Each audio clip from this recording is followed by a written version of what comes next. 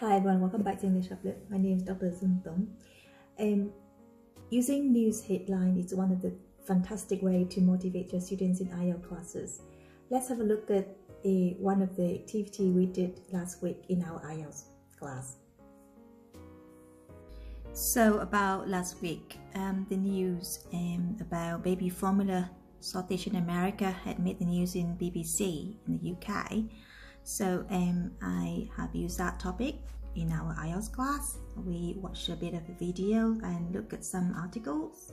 Um, and then the um, outcome of the lesson is task 2 writing problem and solution. So basically we discuss about what are the causes of baby formula shortage in America right now and what are the solutions. Let's have a look at one of my students' writing example. Here you go.